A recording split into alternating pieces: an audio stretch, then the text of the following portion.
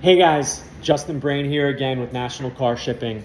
Uh, it's been about a month since I was able to get on here and uh, you know do another video. I wanted to talk today about snowbird season because it is that time. We are right in the middle of if you're you know in the Northeast, as far as Chicago, maybe you're in Jersey, New York, uh, Philly, you're in um, Maine, Boston and you're coming down to South Florida for the winter, and maybe you have a winter home down here in Boca or Deerfield Beach or Miami, now is the time where you're coming down, you're shipping your car, your truck, um, and it does get busier the closer we get to Christmas. It gets more expensive. So the sooner, if you haven't done this in the past, if you start shipping in October or November, it can save you a little money.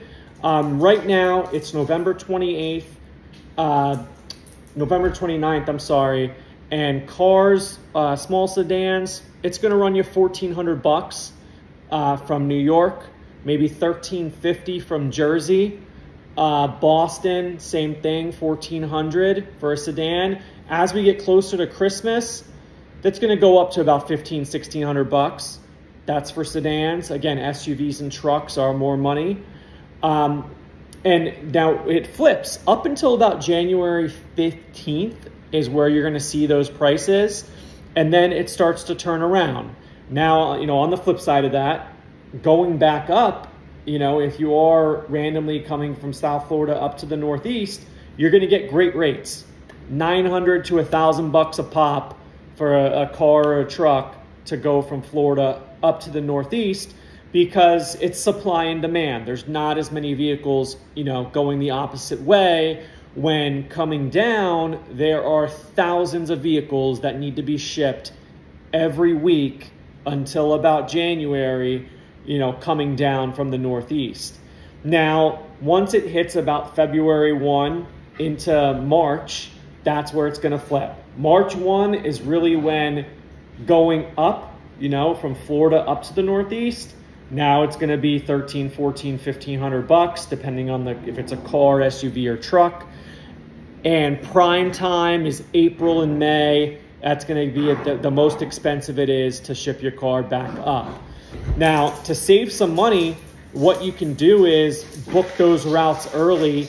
You know, book your your uh, return trip at the same time you book going up or coming down, and you should be able to save some money that way.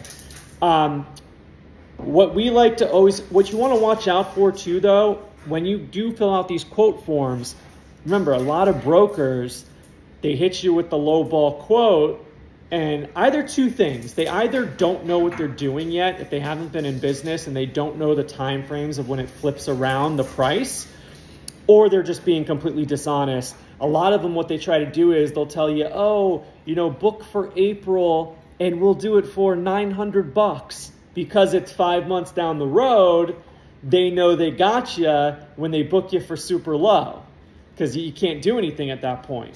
So look out for that. You, once it gets to March, April, May, even if you're booking it November, December, you're not. It's not going to be a $500 discount. It's still going to be, you know, 13, 14, 1500. Maybe you can save 50 bucks, 100 bucks if you do book it early. Uh, sorry if you hear my dog. Let's get the dog in the picture. Oh, come here. Come here. This is my puppy, Nucky. We just got him. He's an addition to the National Car Shipping family. So he is here closing deals with me. Um, say hi, Nucky. Yes, he is named after Nucky Thompson from Boardwalk Empire. Uh, but listen, snowbird season, um, we're here for you. Uh, if you need us, call us 24 hours a day. Uh, someone's here to pick up your call. 800 216 6045.